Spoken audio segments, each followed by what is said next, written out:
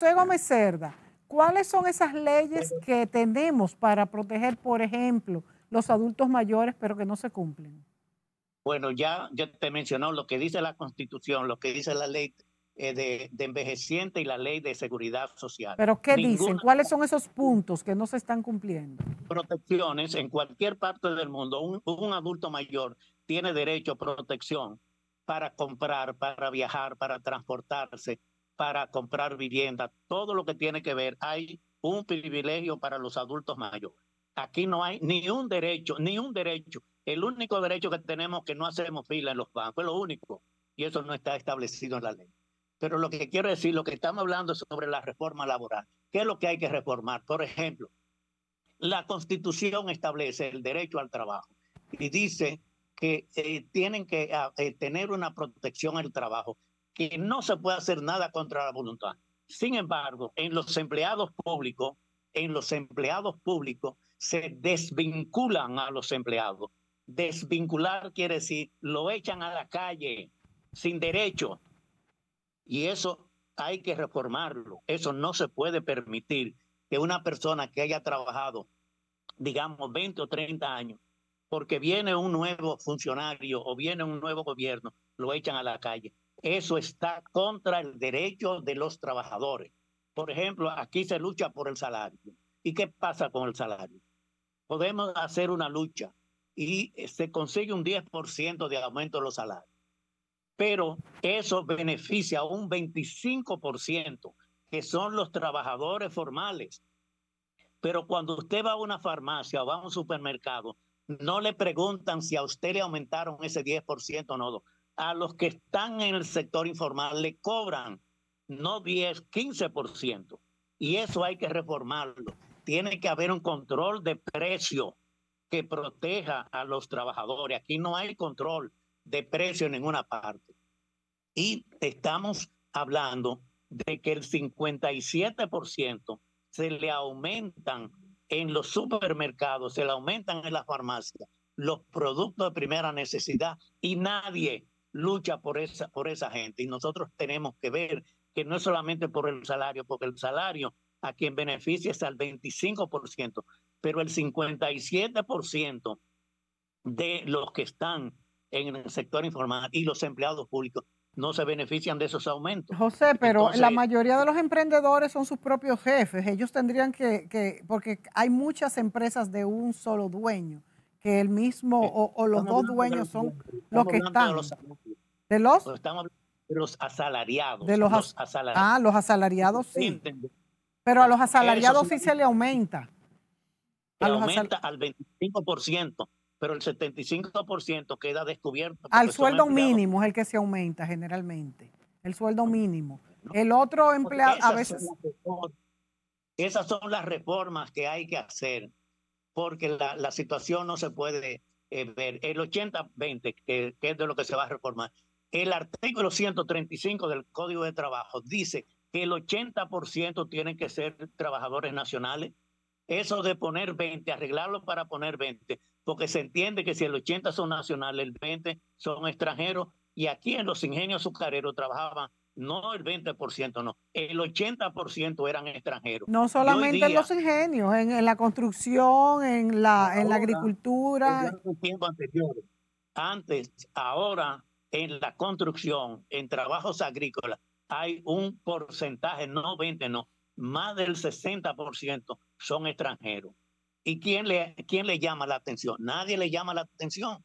Entonces, no hace nada uno con renovar, con reformar cosas que no se cumplen porque no hay voluntad política. Yo siempre he dicho, José, yo siempre he dicho que habría que ir bajando ese porcentaje poco a poco, porque de nada nos vale decir un 80-20 cuando sabemos que en la construcción no es un 60 y en la agricultura menos es un 80%. Entonces yo le, quiero, José, le quiero preguntar a Pepe Abreu, ¿hasta qué punto eso puede reformarse?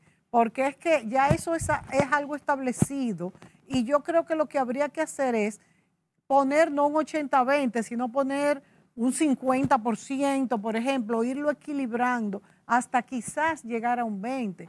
Y en cuanto al control de precios, lo veo muy difícil Lo que se propone actualmente es eso, de hacer respetar el 80-20 y eso no se va a... No se déjeme, va a déjeme hacer. explicarle un poquito, un, un poquito ese tema, ese tema, porque creo que estamos confundiéndonos sin, sin necesidad. Lo primero es esto.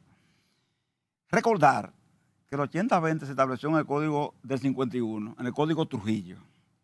Recordar siempre que la industria primigenia dominicana es la industria azucarera, azucarera.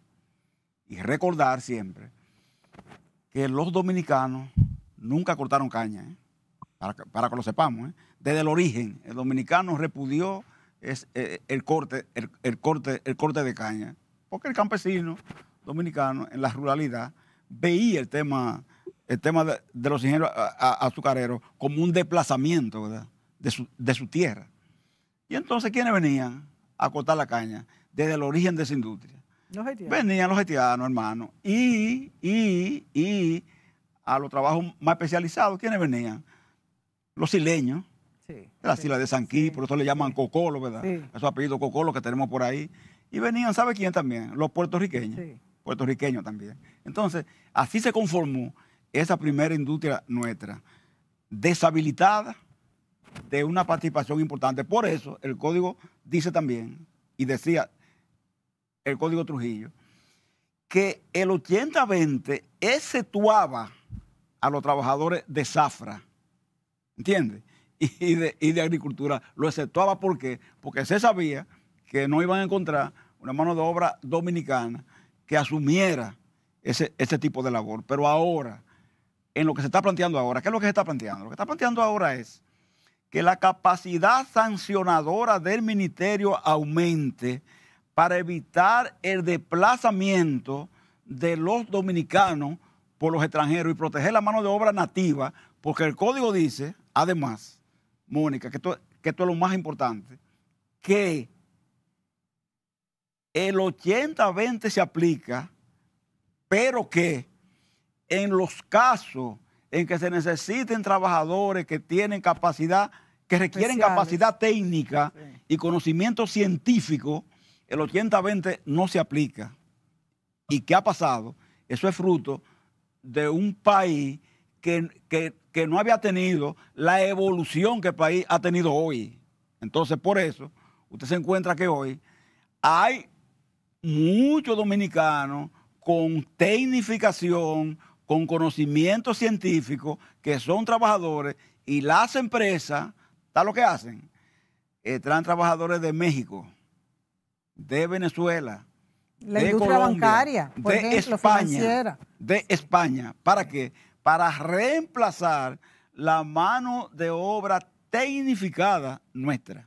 Entonces, como la capacidad san- sancionadora del ministerio es una cap- capacidad sancionadora limitada, el riesgo de violar la ley es tal que no disuade al empresario y prefieren violar.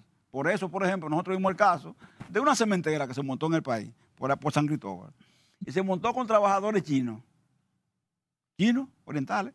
Cuando fuimos a los tribunales a reclamar por ese tema, ¿verdad? De que los soldadores dominicanos, los insuladores, los tuberos, los electricistas nuestros no, tra- no trabajaron ahí. La empresa en San Cristóbal, el tribunal de San Cristóbal, ¿usted sabe a, a cuánto fue condenada, Mónica? A un millón de pesos. A un millón de pesos. Que no significó Nada para nada, ellos, nada y que la ellos. empresa, ¿verdad? Por eso no se preocupó, porque usted tiene que dar una capacidad sancionadora que permita que lo que los dominicanos no pueden, haciendo. no- no pueden hacer en otros sitios, ¿verdad? No vengan otros a hacerlo aquí, porque a ningún dominicano se le va a ocurrir irse a, irse a Panamá, a Venezuela, a, Cota- a, a- a- a- a Colombia, a México, a desplazar la mano de obra nativa. Pero yo incluso pensaba que no, había, que no había ninguna sanción, porque aquí los restaurantes, Adiós, las construcciones, Es todo así, está lleno de es así. extranjeros. Cada rato algo que someter, cerrar prácticamente 10 empresas chinas. ¿Por qué? Porque los chinos Eh, eh, no. hacen lo siguiente. Haitianos. El patrón es chino Y- y, y el contratante es haitiano. haitiano, ¿entiendes? solamente. Es así. Pero entonces, este, este, este, esta, esta, esta reforma incluye realmente que esto se va a mantener. Algo, y claro, sanciones. el aterrizaje y darle capaci- capacidad sancionadora al ministerio para que pueda hacer eso. y, se disuada con multa efectiva a los que hacen ese tipo Por ejemplo, sector construcción, que tenemos un 80-20 pero al revés. ¿Eso entonces va a ser sancionado? Claro que sí, sancionado, exactamente, sancionado, exceptuando, exceptuando, ¿verdad? Eh, eh, eh, los, los elementos, los espacios donde, bueno, el dominicano haya abandonado, por ejemplo, ese proceso. Porque así sido que sí, el azucarero nunca ha tenido eh, en el corte de la caña, ¿verdad? Una, una mano de obra mayoritariamente dominicana, ¿entiendes? ¿Y por qué entonces algunos, algunas personas dicen que está beneficiando? José, te voy a dar la palabra ahora porque Pepe se va a ir. Mm. Eh, ¿Por qué algunas personas dicen que el código está beneficiando la mano de obra haitiana? Dicen así yo, pienso que, son, que sector, una visión de un nacionalismo exacerbado, muchas veces eh, lleno en algunas ocasiones de fanatismo también, de fanatismo también. Hay que entender, ¿verdad? Hay que entender que nosotros tenemos también dominicanos, ¿verdad? Que van a otros países, ¿verdad que sí? Y hay que decirlo. Los dominicanos hay trabajo que, por ejemplo, en la construcción, los dominicanos en muchos países son líderes. En Puerto Rico son líderes en la construcción. Ahora, ellos entienden que en Puerto Rico reciben una condición de pago mayor, de pago mayor que, en su país no la tienen y Puerto Rico trabaja en la construcción, aunque en Dominicana haya áreas de la construcción, haya áreas de la construcción que los dominicanos no la Pero entonces tú te estás contradiciendo, porque estás diciendo que entonces en la construcción van a decir que ya los dominicanos no quieren hacerse trabajo, ah, por ejemplo, de ah, albañilería. Hay lugares. Y sí se va a dejar eh, la mano de obra haitiana. Hay, mano de obra de, cargar bro, de cosas así, etcétera, etcétera, que el dominicano no, no la quiere hacer en una construcción. Entonces, en esa sí se va a permitir. No la quiere hacer, ¿verdad? Entonces, la, entonces ¿qué, qué, qué queda? Permitirla, ¿verdad? Usted analiza el, trabajo doméstico, a propósito de la doméstica, y usted se encuentra con qué hoy. usted no se encuentra con cantidad doméstica haitiana. ¿Entiendes? ¿Y por qué? Porque la mujer dominicana considera que el trabajo doméstico es un trabajo no apreciado, que no protege, que no da garantía, que se paga mal. Y entonces, esa, esa dominicana, ¿qué prefiere? Mejor. Bueno, buscar cualquier otra cosa que hacer y no emplearse en una casa de familia, como dicen. ¿Te entiendes lo que es? Entonces, por eso, ¿quién, quién aparece para sustituirla? La, la, haitiana, como la dominicana en España, aparece para sustituir a la española que dejan hace 500 mil años, ¿verdad? De trabajar en casa de familia, de hacer trabajo doméstico. Antes lo hacían, pero hoy usted va a encontrar una española que se faje de que a a, fregar y a planchar y a lavar en una casa. Pepe, antes de en estos dos minutos que te quedan a ti, después seguimos con José Gómez Cerda. Quiero preguntarte un poco sobre las variaciones en cuanto a la seguridad, eh, en cuanto a, la seguridad social, en cuanto a seguro médico. ¿Qué hay de variación en esto? No, porque la, e, e, esa otra reforma, mm. que es la 8701, esa no lo incluye. Que es la que sigue después de esta, ¿verdad? Reforma. Ahora vamos a la reforma de los 1701, que también es una ley compleja, dificultosa, ¿verdad? Pero que también hay que entrarle, hay que reformarla, ¿verdad? Porque o sea que los servicios de salud todavía eso no está eh, contemplado. no, no, no, eso, eso viene en la reforma al sistema de seguridad social, que es la ley 8701. Es sumamente importante. Así es. Entonces, antes de irte, a tu juicio, tres conquistas importantes de esta reforma laboral. Preservar la cesantía fue lo primero, ¿eh? Nosotros fuimos con, esa misión. Ya se, Vamos ahí. Pero, ¿se preservó o se va a negociar? Se preservó, se preservó, ¿eh? Ya. Porque el presidente dijo claramente el lunes 26 en la semanal, voy a someter al Congreso los artículos consensuados. Lo que no se pudo consensuar quedará para otra reforma. De manera que por ahora la cesantía no está incluida en ese proceso que fue básicamente la misión fundamental que asumimos nosotros. No, es, el día de, el día de vacaciones, ni, la, ni, la, ni, intentar una paternidad responsable con dos días. No es eso. Lo, lo, principal nuestro fue preservar el derecho consignado, ese derecho eventual que se llama cesantía, que los trabajadores dominicanos no quieren por ningún caso ni que se la reduzcan ni que se la eliminen. Eso fue lo principal. Para Eh, en cuanto a los trabajadores del Estado, se les va a darse, se les está es que el trabajador del. Estado no, no está incluido en esa reforma. incluido. Porque él está, él se rige por la ley de servicio público y, y- y- y carrera administrativa, es por ahí que se rige, no por el código laboral, exceptuando las empresas eh, del área financiera o, o las empresas que como la Refinería Dominicana de Petróleo, Corazán, etcétera, etcétera, eh, son empresas de, de carácter productivo, ¿verdad? de carácter pecuniario. Pero esa, es- eh, eh, la- los ministerios, por ejemplo, se es por la ley de, de- de servicio público. Pues muy no- bien. No por el código. No por el código. Gracias a Pepe Abreu. Vamos a despedirlo y seguimos. Vamos a la pausa y seguimos con José Gómez Cerda. Gracias, Mónica. Gracias a ti, Pepe. Siempre.